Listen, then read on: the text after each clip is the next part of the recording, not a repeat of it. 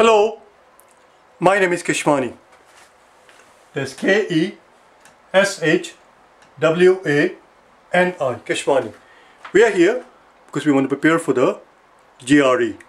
We have been solving math problems out of this book here, the official guide to the GRE, the third edition.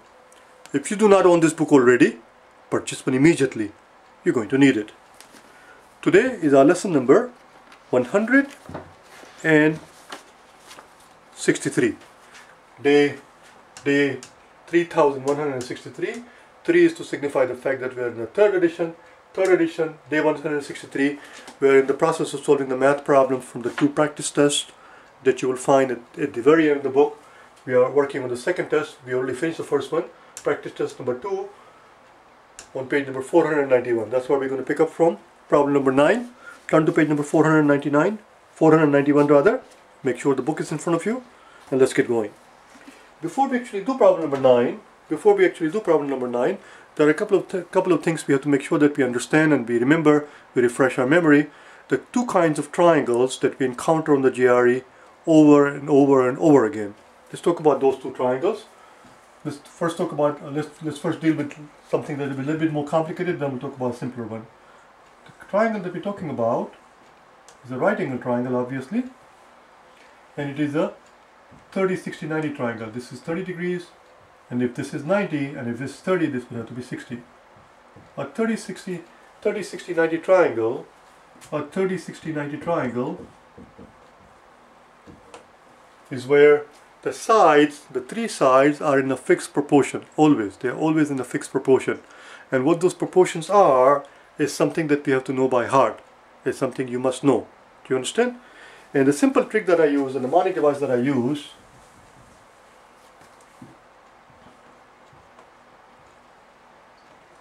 the mnemonic device that I use for myself that always works for me is that I say to myself that we have three kinds of tri three kinds of angles here. We have 30 degree, we have a 60 degree, and we have a 90 degree. There are three kinds of angles. So let's put down one, two, three. With me so far? Then take the very last number and put a square root sign on it. And then remember that in the triangle, opposite sides and angles are proportional. In other words, opposite sides and angles are proportional. In other words, the the side that faces the biggest angle in the 30, 60, 90 triangle, 90 degrees is the biggest angle, the side that faces the biggest angle is going to be the longest side. The, the biggest number among these three, 1, 2, and root 3, which is about 1.7. Root 3 obviously is less than 2, and root 3 is obviously more than 1. So if you were to put them in order, if you were to put them in order, 1, and then root 3, which is between 2 and 3, or rather between 1 and 2, root 3 of course definitely root 3 of course definitely is more than 1 and I meant to put it the other way around. Root 3 is definitely more than 1 but it is less than 2 I'm explaining too much now. So we put them in order. This is the biggest angle. The side facing the biggest angle is the longest side the side that faces the smallest angle the smallest angle is 30 degrees the side that faces the smallest angle, which is this side right here, is going to be the smallest side, 1. Even though it doesn't look like it here, but you must remember, you must always remember that the pictures in the GRE are not drawn to scale. The only time the picture, a given picture in the GRE is drawn to scale is when they actually tell you in the caption, uh, uh, there's a notation underneath which tells you the picture is drawn to scale. If they not give you the notation that the picture is drawn to scale, then the default is that the pictures are not drawn to scale. So don't complain about the fact that it, it, this side, even though it's 1, it actually looks bit longer than that side, even though this faces 60 degrees. It faces 60 degrees, this is the middle side, which is root 3. They are always in this order. They are always in this in this proportion. Do you understand? 1, root 3 and 2. 1 faces 30 degrees, root 3 faces 60 degrees, and 2, which is the biggest number, faces 90 degrees. Now the triangle that we have to understand is an isosceles triangle, where this angle is 45 degrees, this angle is 45 degrees, and again we are dealing with a right angle triangle, an isosceles triangle. Isosceles triangle. And here, how many different kind of angles do we see? Well, I only see two. I only see two kinds of angles: a 45 and a 90. There are only two variety: 45 and a 90. Only two. So one and two, just like here. We put down one, two, three because there were three kind of different triangles. and then take the last number and put a square root sign on it. There you go, that's the proportion. So this is 1, this side is 1, this side is also 1 because these are both 45, and the longest side is root 2. Which makes perfect sense, which makes perfect sense because if you apply the Pythagorean theorem, Pythagorean theorem tells us that that side, which is root 2, oh, or better yet, let's not pretend, let's pretend that we don't know what the third side is. If this side is x, and if this side is 1, and this side is 1, we'll get 1 squared plus 1 squared equals x squared, which means x squared equals 2, and hence x equals root 2. You see, it's root 2. So they are in this, they are in proportion, they are in this proportion 1, root 3, 2, and here 1, 1, root 2. All set? Because without it, we cannot do number 9. And when we finish number 9, I'll give you the percentile as always, and you will see why the percentile in that problem was so low, is because people do not remember this thing. Let's do number 9. Once we know, once we understand these concepts, these two concepts, the problem is very simple. Problem number 9 is very straightforward, if you understand the concept. So here's what's given to us. We're given a picture, and it looks something like this. Voila. This we are told is 60 degrees. This is the right angle. In the, in the book they give you the right angle symbol here, but if this is 90 then this is also 90 obviously. We don't have to show both, one or the other. If this is 90, this is 90 obviously. And they tell us that this is 45. And this is 40, if this is 90, then this side must be 90 because they have to add up to 180. So this is 90 even though we don't have to put the symbol both places. So this is 90 and this is 45 which means this is also 45 even though they do not tell us that. This is what, let me first put down the picture as it appears in the, in the, in the book. This is what it appears. That's, that's all they tell us. And this is what the question is. Column A, it says length of A, length of AC from A to C. We have A, B, C. And let's give this, this point a name, even though they do not, we're going to give this a point let's get going, shall we? So we have length of AC versus column B, which is simply 3. Which is simply 3. Let's see what we can do. So this angle is 60. If this angle is 60, this angle has to be 30. So what are we dealing with? We're dealing with 30, 60, 90 triangle. They must have given something else to us. I'm leaving out. Yes, they did give us. They tell us that this is 2, you see? We just saw it that the longest side is longest side is 2 they are in the ratio of they are in the ratio of 1 to root 3 to 2 1 will go to the side that faces the smallest angle. The smallest angle is 30 degrees. The side that faces the 30 degrees the side that faces the 30 degrees this side this side is 1 which is D to C that's 1 and this side is going to be root 3 because it faces the 60 degrees. I'm going to erase this arrow because otherwise it gets to be too annoying.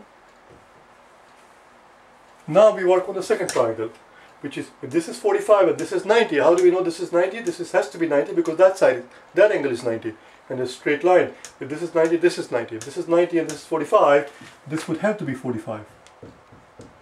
So in the triangle ABD, we are dealing with an isosceles triangle. And in the isosceles triangle, these two sides are to equal. This side side BD, side BD must equal, side BD must equal side AD. That's what makes it isosceles. So this side BD is equal to AD, which means from A to D is root 3. That's it, we're done.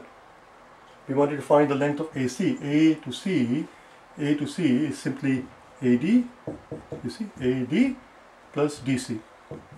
AD we just found out is root 3 and DC we know is 1. So we are comparing root 3 plus 1 versus 3 versus 3. And root 3 we know is less than 2. It cannot be 2 or something more than 2. Root 3, whatever it is, less than 2. As a matter of fact, if you want to know, is approximately 1.7. But we don't have to know that.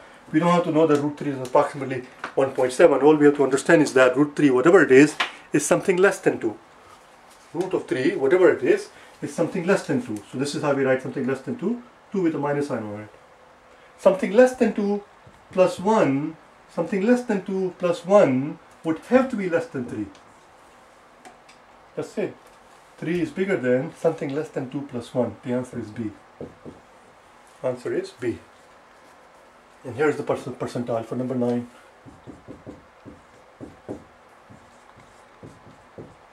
Only 36% of people got it right. Only 36% of people got it right. Let's do number 10.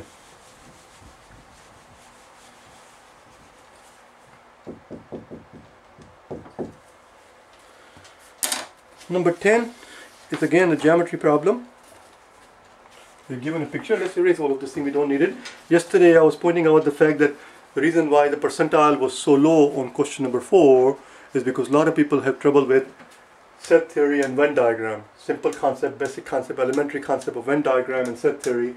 If you are one of those people who is still struggling with uh, Venn diagram and set theory, watch these five videos if you have not watched them already. And I see no reason why you wouldn't have watched them already. I hope that you're watching this series in the proper sequence. Don't go all over the place. If you haven't watched them, watch day number 3091 to 3095. These five videos is where we talked about Venn diagram and the set theory. What are we going to do? Number 10, we need a picture. So this picture looks like this.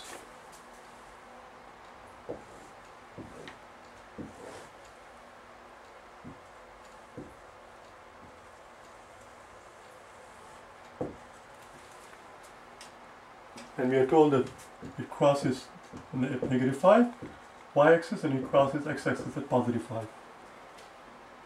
And this is of course the origin. That's it. And they're simply looking for the slope of this line. That's all. This is your y-axis. This is your x-axis. They're looking for the slope. How much is the slope of this line? What is the slope of this line? Line K they're calling it. The line K, it doesn't matter whether you call it line K or line L or line whatever you want to call it. Question simply is what's the slope? But we clearly can, we can clearly see that it goes through these two these two points. It goes through this point and it goes through this point. And this is the y-intercept Instead of writing down the y-intercept, why don't we write down why don't we write down both coordinates, the x-coordinate and the y-coordinate of this point? Let's call this point A. And A point A has a 0, 0 x-coordinate because it, it's on y-axis and we are told that the y-coordinate is negative 5. Similarly, let's call this point B. Point B and point B has 5, x, x, x coordinate is 5 and the y coordinate is 0. So far so good? Let's begin then. Let's begin then. So slope we know, slope as we know is simply rise over run, which is simply the change in y over the change in x.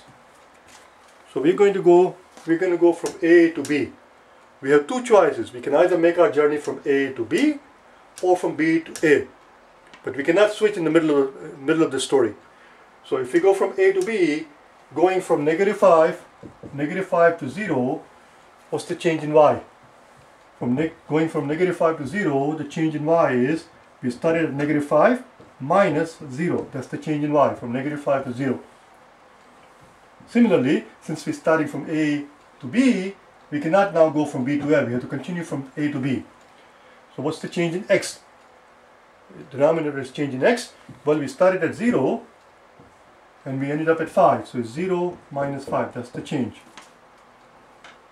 Do you understand? As long as you're consistent. One more time. One more time.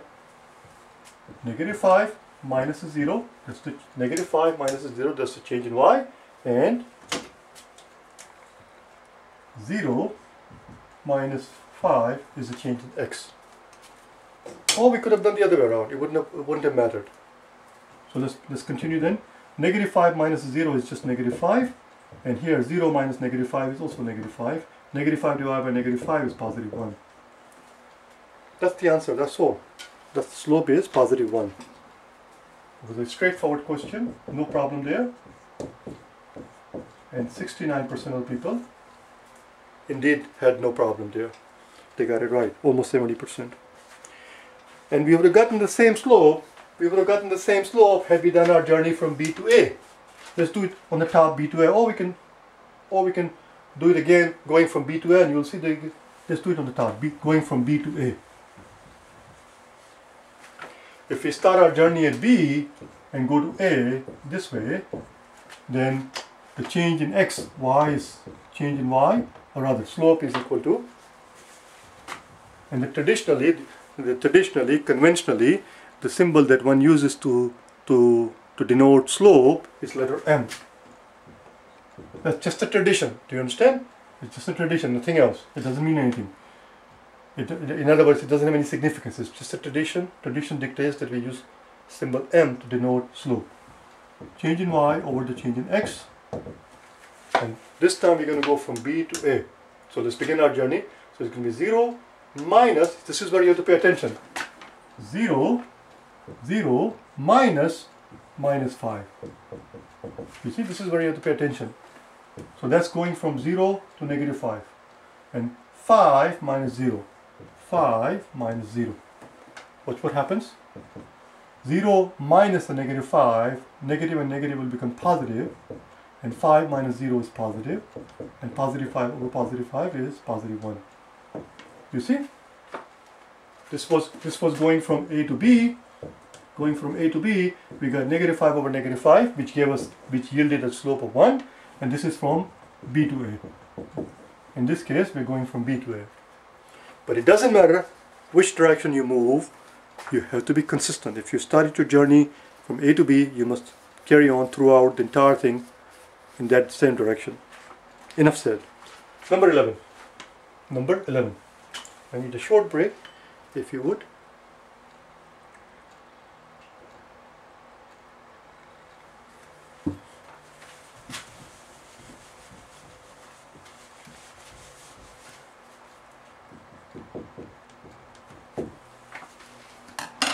What does number 11 say? Number 11 is on the next page. Page number 492.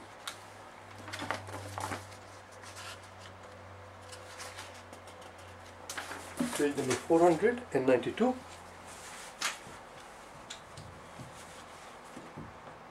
We are given five quantities. We are given five quantities. B minus B minus 3, B minus 1, b plus 2 pay attention as to what is given to us. You understand? B plus 3 and b plus 4 these are the five quantities we're given. We are told that the median of this five quantity median of this five quantity is 5 and the question simply is what is their average what is their average what is the average of these five? And of course we are told that B here is constant. B is constant. We do not know we do not know what the value of B is at this point, but whatever it is, it has to remain constant. Of course it's constant because we are using the same symbol. In, in the language of algebra, if you use the same symbol, that means it's, it's the same value. Okay. In other words, for example, for example, if B happens to be 7, if b happens to be 7, 7 minus 3 is 4, 7 minus 1 is 6, 7 plus 2 is 9, 7 plus 3 is 10, and 7 plus 4 is 11. That's only in the event, that's only in the event that the b is 7. But whatever b is, is constant throughout the entire 5 entries. That's what they mean. But at this point, at this point in the story, we do not know what b is. We'll find out in a second. We have no idea what the value of b is, and until we find until we decipher, until we figure out what the value of B is, we cannot work on the average obviously. We have to find the average. And in order to find the average, we have to know what B is. So let's see what we can do. As you can clearly see, they are already arranged in order. We just saw them. We were, they were already they are already arranged in order. One more time. If B happens to be 7, if B happens to be 7, then 7 minus 3 is 4, 7 minus 1 is 6, 7 plus 2 is 9, 7 plus 3 is 10, 7 plus 4 is 11. As you can see, they are already written in order. They are all already in ascending order. In order to find the median, in order to find the median, the, the entries have to be either in the ascending order or descending order because we're looking for the one located sitting in the middle. The one that is sitting in the middle, 4, 6, 9, 10, 11, is this guy. In other words, in other words, our median, our median is this guy. This is our median. And that guy we are told equals 5. You see? We do not know what the B is, but we're going to find out in a second. As you can clearly see what, we can very clearly see what B, B must be. B would have to be 3, because median is 5, and it equals B, B plus 2. So 3 plus 2 equals 5. So we just found out that b plus 2, which is our median, is 5. b must be 3. You with me so far? So we found the b. b is equal to 3. If b is equal to 3, 3 minus 3 would be 0. That's the first entry. 3 minus 1 is 2. And I'm going to erase this thing now. 3 plus 2 is 5, of course, which is why they're equal. We were told the median is 5. You see, median is 5. And if b is equal to 3, 3 plus 3 is 6. And 3 plus 4 is 7. That's all it is. It's a very simple problem now. We simply have to find out the average of these five numbers. So let's do that, shall we? Let's find the average of these four numbers, nothing to it. Okay, let's do it together. 0 plus 2 is 2, 2 plus 5 is 7, 7 plus 7 is 14, 14 plus 6 is 20. It's just 20. The sum, sum is equal to 20. One more time, one more time. How do we get 20? 2 plus 5 is 7, 7 plus 7 is 14, and 14 plus 6 is 20. And in order to find the average, we have to find how many, how many there are. There are 5 entries. So it's 20 divided by 5, the average is 4. That's all. The average of these 5 quantities is 4. Very simple, very straightforward problem. One more time. Oh, I can't believe it. It's, a, it's the exact same, exact same percentile as the one before. Yes, it is. 69% of people had no trouble with it. Number 11 was 69 percentile. Tomorrow we'll meet again obviously and we'll work on number 12, 13 and 14. 12, 13 and 14, the remaining three problem, problems rather on this page. Okay, bye now.